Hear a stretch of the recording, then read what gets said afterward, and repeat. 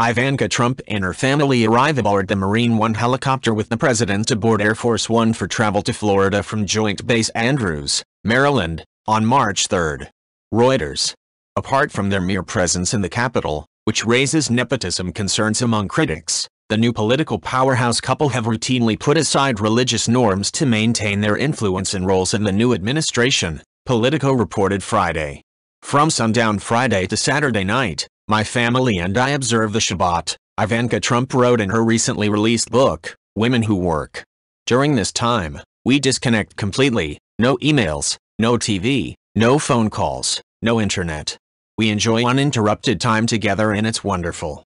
Kushner looks on as President Donald Trump, flanked by Secretary of State Rex Tillerson, left, holds a cabinet meeting at the White House in Washington, D.C., on March 13th.